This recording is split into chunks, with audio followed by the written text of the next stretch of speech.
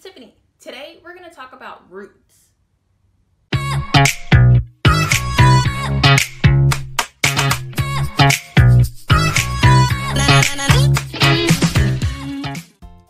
Finding the roots of a function. Some things to keep in mind. When you solve for the roots of a function, you are looking for the place on a graph where the function hits the x-axis. At that place, the y value is equal to zero. To find the roots of a function, you will need to find the factors of a trinomial. Then you need to set that answer equal to zero. Then you need to solve for x. Your answer will be in the format of x equals a number. You can check your answer to see if what you got is correct by graphing the equation and checking to see where the graph crosses the x-axis. Before we begin, let's make sure you know how to factor numbers. If you have to list the factors for a number like 36, you just start with 1 because it's the first counting number. And you say 1 times 36 is 36. And then I go to the next counting number, which is 2. So it's 2 times 18 also gives me 36.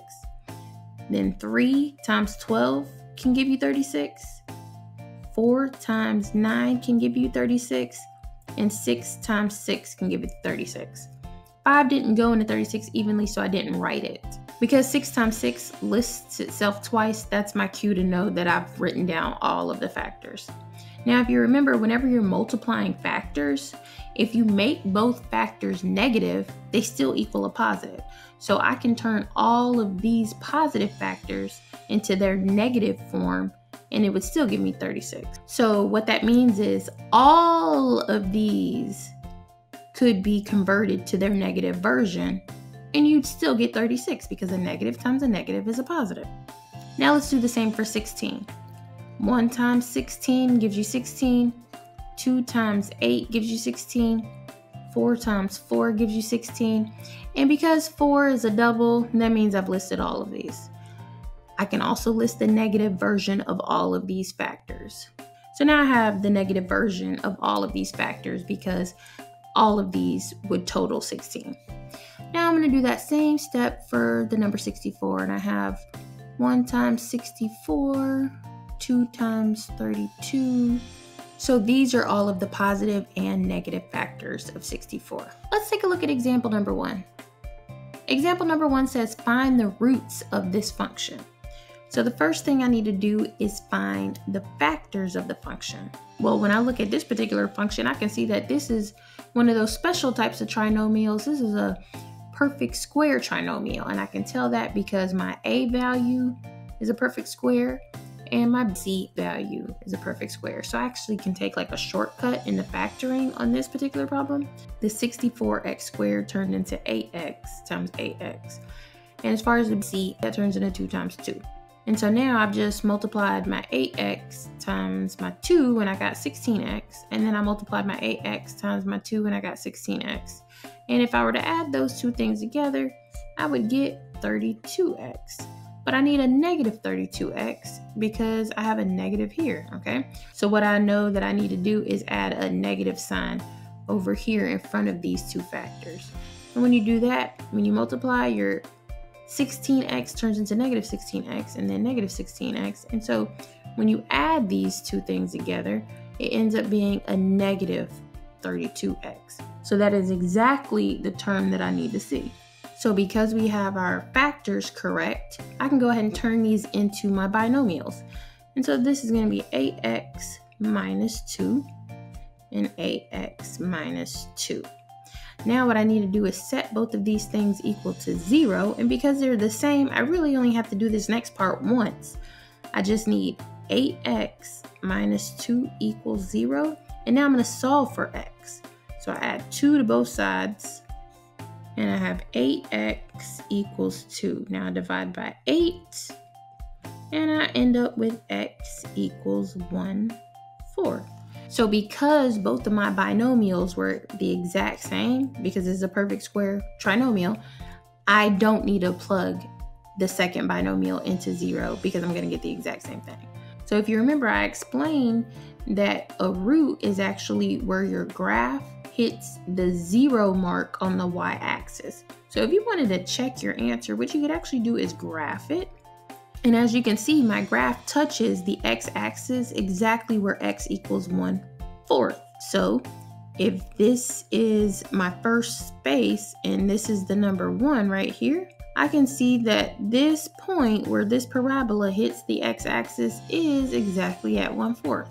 And something else I want to point out is sometimes people ask like why do they call these roots or why do they call these zeros i don't know for sure but i always suspect it is because if this x-axis were the ground and you were just walking along the ground i'm going to draw a little person even if you're just walking along the ground and this graph were a tree you would call this area of the graph the roots like, think about it. When you're next to a tree, the part of the tree that hits the ground is like really what you would refer to as the roots. Sometimes the roots even come out like, you know, like, oh, there's roots of the tree. And they're where? They're right at the ground level, which is where y equals zero. Okay. So that's what I think they call it roots, but I don't know for sure. Another thing is roots can also be referred to as zeros. So sometimes a book or a worksheet might say how to find the zeros of a function. Now let's take a look at example number two. Example number two says find the roots of this function. So I need to find the factors of this function. And this particular function is not a perfect square trinomial, so I need to just go ahead and start by finding the factors of 12. So just like we did on an earlier screen, we're going to calculate what times what gives you 12. So I have 1 times 12, 2 times 6, 3 times 4, and that's it. Now, I'm looking for a combination of two numbers, two of these factors over here that when I add them together, I need to get 7. And I can see right away that that's going to be the 3 and the 4. Okay. Now, this particular problem was all positive. See, there's a plus sign here and there's a plus sign here. So I knew that I wasn't going to need to get the negative version of the factors of 12. I just want to point that out so you understand why I didn't write the negatives. I can see that I'm not going to need anything to be negative in this problem because everything's positive. If one of these symbols were negative, then somewhere one factor is going to have to be negative. So now what I'm going to do is I'm going to say that I am ready to write my two binomials. So I'm going to have x plus 3 and x plus 4. I wrote the plus 3 and the plus 4 because I got those straight from our factors. Both of these are positive, so it's going to be a plus. If one of these were negative, then it would be x minus that number. So now, because I have my factors, I can set those equal to zero. So now I need to calculate what x equals for this binomial, and I need to calculate what x equals for this one. And you do that by setting them equal to zero, like I said. So I'm going to subtract 3 from both sides. And over here, we have x equals negative 3. Then I'm going to subtract 4 from both sides. And over here, we have x equals negative 4. Now I'm going to graph this particular function, meaning graph this. You can put it in a graphing calculator if you want even. And from the picture, you will be able to see where your graph hits the x-axis. This particular graph needs to hit at the negative 3 mark on the x-axis and needs to also hit at the negative 4 mark. Let's take a look. Here it is. I can see that negative 4 is right here and my graph does in fact hit that exact point. And my negative 3 is right here and my graph does hit exactly at that point. So that means I solved this problem correctly. And again, if this were the ground and I'm I'm using green because it's like grass, right?